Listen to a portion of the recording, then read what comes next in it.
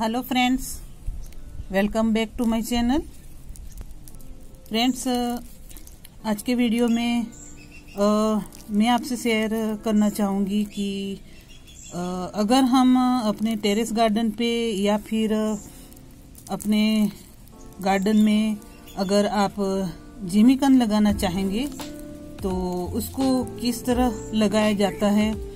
और इसका उपयोग कैसे किया जाता है, इसमें क्या क्या गुण हैं, और इसकी मिट्टी कैसी होनी चाहिए, कब लगाना चाहिए, ये सारी जानकारी मैं आपसे आज शेयर करूँगी। लेकिन सबसे पहले मैं आपसे बताना चाहूँगी कि ये है जिमीकंद जैसे इसको जिमीकंद जमीकंद या फिर सुरन के नाम से भी इसको बोला जाता है। और फ्रेंड्स वैसे तो ये दो तरह के होते हैं। एक है देसी और एक जो आपको बाज़ार से बहुत ही आसानी से मिल जाता है, वो देसी नहीं है। तो ये हाइब्रिड टाइप के रहते हैं और ये मेरे पास जो है, वो बिल्कुल गाँव में होने वाला देसी है। तो इसी तरह से ये दो तरह के रहते हैं, सुरन। गाँव में इसको सुरन बोलते हैं।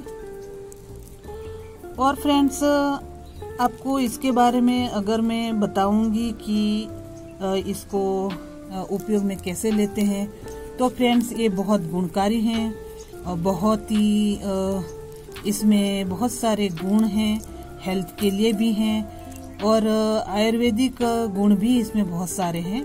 तो वैसे ही लोग इसको कम पसंद करना, करते हैं, खाने के उपयोग में कम लेते हैं, लेकिन हमें इसको खाना चाहिए। खास करके एक अभी जो ठंडी का सीज़न है, इसमें इसको ज़रूर उपयोग में लाना चाहिए। और देखिए, ये मैं गाँव से लेके आई थी तो मैंने सोचा चलिए इसके बारे में अगर हम लगा सकते हैं गमले में, पॉट में तो हम इसको कैसे लगाएँ? तो ये सोच के मैंने आपसे ये शेयर किया है। तो फ्रेंड्स सबसे पहले मैं आपसे ये बताऊँ कि इसको खा, खाते कैसे हैं? तो फ्रेंड्स ये जब खाते हैं तो इसको आलू के साथ मिला के खाते हैं। कोई कोई इसमें भाजी मिलाते हैं। अपने अपने तरीके से सब लोग इसको बना के खाते हैं। जब इसको खाते हैं तो इसके अंदर जो एसिडिक प्रॉपर्टी है वो बहुत ही ज़्यादा है। इसीलिए गले में एक अजीब सी चर, चरहराहट सी होती है। कहने का मतलब ये है कि गले में मुँह में आपको खुजली आती है इसको खाने से क्योंकि एसिडिक जो गुण है ये इसमें बहुत ही ज़्यादा है। इसकी वजह से हमारे गले में ये खुजली होता है। और फ्रेंड्स आप देखिए कि जब हम इसको लगाते हैं इसका लगाने का जो समय है जो टाइम है वो है फरवरी या मार्च, फरवरी, मार्च में इसको लगाया जाता है और जब ये बड़ा हो जाता है तो इसको निकाल लेते हैं और बाकी जो इसके, ये जो छोटे छोटे इसके पप्स हैं ये लगाया जाता है वापस और देखिए ये मैंने लेके आई हूँ और इसमें से भी मैंने तोड़ा है। तो ये वापस लगा देते हैं हम और इसका लगाने का समय है मार्च, अप्रैल। मार्च, अप्रैल में लगाते हैं तो ये नवंबर, दिसंबर तक खाने के लिए तैयार हो जाता है। तो ये लगाने का समय इसका, अभी आप फरवरी में भी लगा सकते हैं इसको। और हम टेरेस गार्डन पे अपने गमलों में भी आसानी से ये पॉप्स लग जाएँगे, ये सब भी लग जाएँगे छोटे छोटे अगर आप ऐसे बड़े को लगाना चाहते हैं तो जब भी अगर इसको लगाएँ तो काट के भी लगा सकते हैं, लेकिन ये इसकी आँख होना ज़रूरी है, क्योंकि आँख नहीं रहेगी तो ये आ, उगेगा नहीं।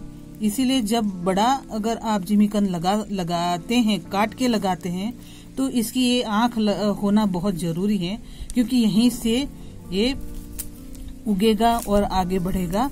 जब उगेगा उगने के बाद जब बड़ा होता है तो देखिए ये छोटी छोटी इसके जो बच्चे हैं वो ऐसे होते हैं और ये भी आगे जाके बड़े हो जाते हैं। तो इसी से फिर ये इस तरह बड़ा सुरन बनता है। बड़ी साइज़ का लगाने से लग सकता है, आराम से काट के लगा सकते हैं हम इसको और आँख वाला लेते हैं।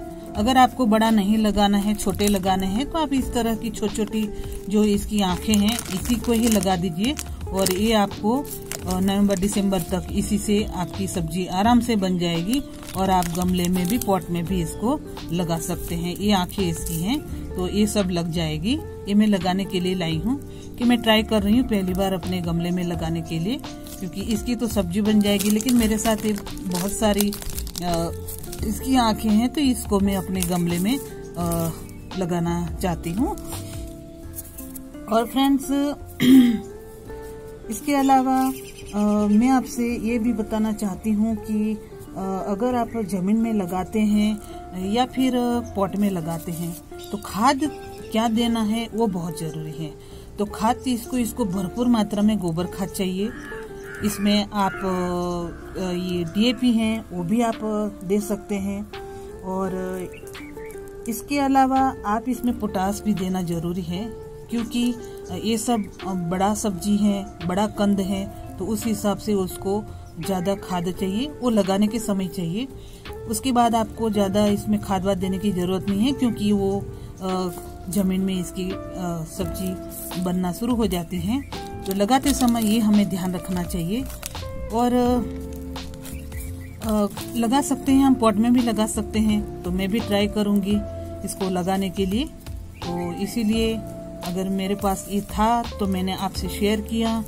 और अगर मेरा वीडियो अच्छा लगता है तो आप लाइक से सब्सक्राइब ज़रूर करिए। नए हैं तो सब्सक्राइब कर लीजिए फ्रेंड्स लाइक भी ज़रूर करिए। अगर कुछ बोलना चाहते हैं, कुछ कहना चाहते हैं तो कमेंट करके मुझे बताइए।